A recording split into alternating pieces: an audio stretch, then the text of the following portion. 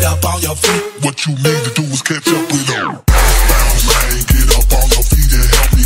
The Duke and Duchess of Cambridge were the surprise stars of tonight's Royal Variety Performance show, when Will was cajoled into taking part in a comedy sketch by the show's host, Miranda Hart.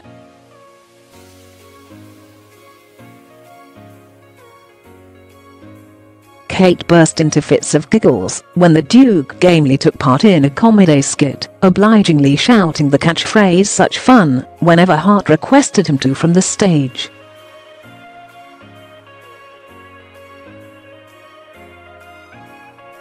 Sitting in the royal box under a spotlight, the Duke performed his part enthusiastically, while the Duchess dissolved into fits of laughter.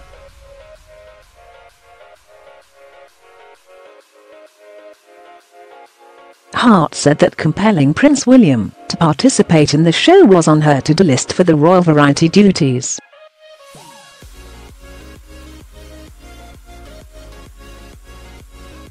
Hart had kicked off the show with a reference to the royal guests, singing There's No Duchess Like Show Duchesses during her rendition of Irving Berlin's Annie Get Your Gun classic.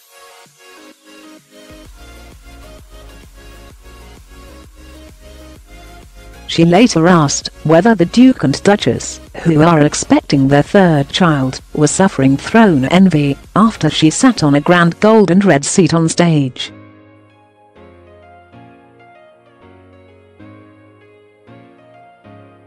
Addressing them in the invented plural of Your Royal Highness, she promised more royal audience participation to come as the night went on.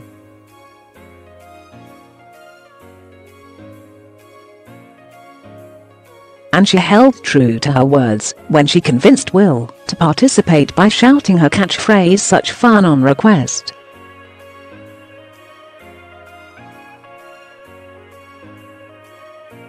Kate, who is four months pregnant with the couple's third child, looks stunning in a bespoke Jenny Packham crystal embellished, full-length blue gown.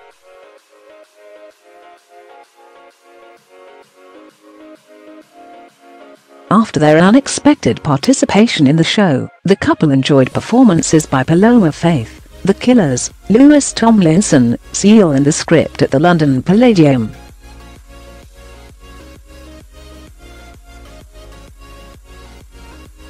With 89 shows spanning 105 years, the event is held in aid of the Entertainment Artists Benevolent Fund, of which the Queen is patron.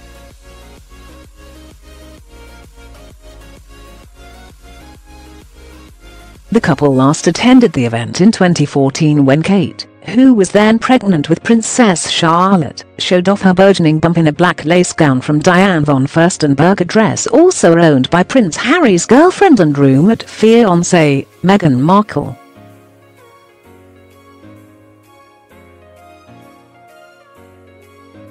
Harry, who is tipped to announce his engagement to Miss Markle any day now, attended back in 2015 when he met stars including Elton John and Jack White.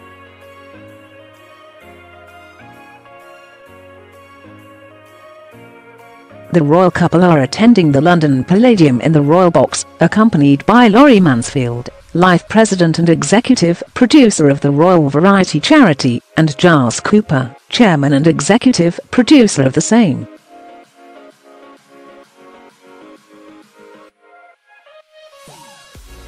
The Royal Variety performance takes place in aid of the Royal Variety Charity, of which the Queen is patron.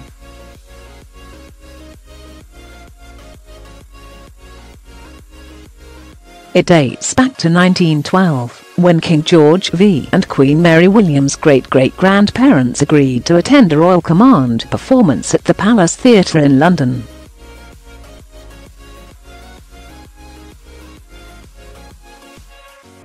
The first installment was in aid of the Variety Artists Benevolent Fund and its proposed plans to build an extension to its Brinsworth House home for elderly entertainers.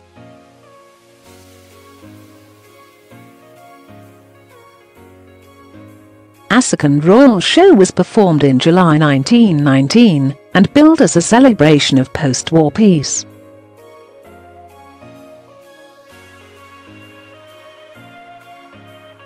It became an annual event at the suggestion of George V. in 1921, when the king decreed that the monarch or a senior member of the royal family would attend an annual performance in aid of Brinsworth House and the Royal Variety Charity once a year thereafter.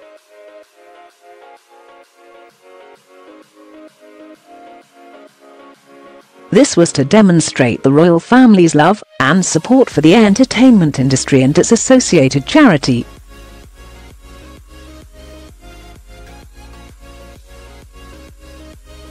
Today, it is watched by an estimated 152 million viewers worldwide, bringing the cream of international talent to the London stage making it the most successful and longest-running entertainment show in the world.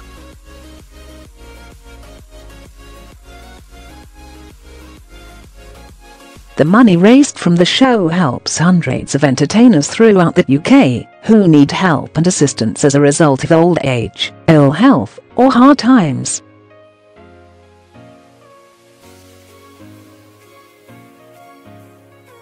Traditionally, the Queen has taken it in turns with the Prince of Wales to attend the show, but Harry, William, and Kate's repeated attendance is a demonstration of how the younger members of the family are increasingly stepping in to help the Queen in her 10th decade.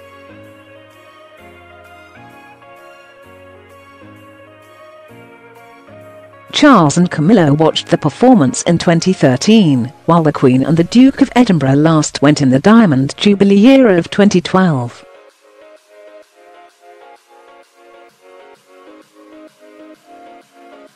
Kate, 35, returned to royal duties in October, after battling a bout of hyperemesis gravidarum, an acute form of severe morning sickness, which forced the couple to announce their baby news earlier than planned.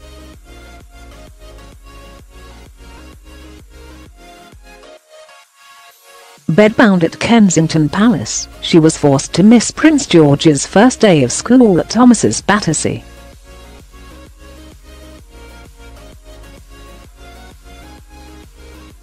The origins of the Royal Variety performance date back to 1912, when King George V and Queen Mary agreed to attend a Royal Command performance at the Palace Theatre in London, in aid of the Variety Artists Benevolent Fund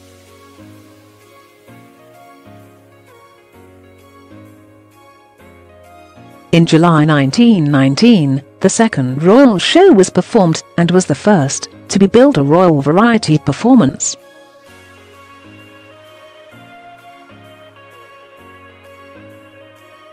Held at London's Coliseum, the show was staged as a celebration of peace. As the official announcement expressed it had been commanded by the king to show his appreciation of the generous manner in which artists of the variety stage had helped the numerous funds connected with the war.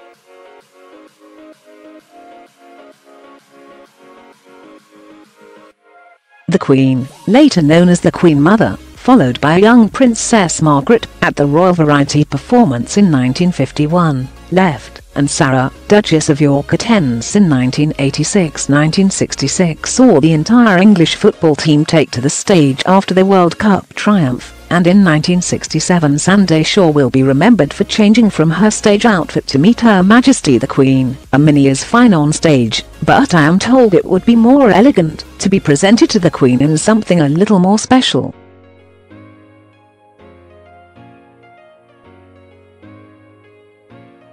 The 2014 Royal Variety performance returned to the London Palladium and welcomed the Duke and Duchess of Cambridge for their first time, the Duchess being five months pregnant with Princess Charlotte.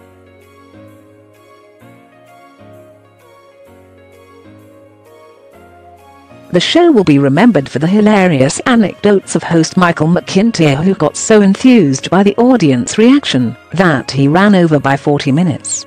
Highlights included Ed Sheeran and Ellie Goulding appearing on the Royal Variety for their first time, the hugely successful One Direction, Britain's Got Talent winners Collabro and the amazing Dame Shirley Bassey who proved that after all these years she is still one of the greatest female singers of all time,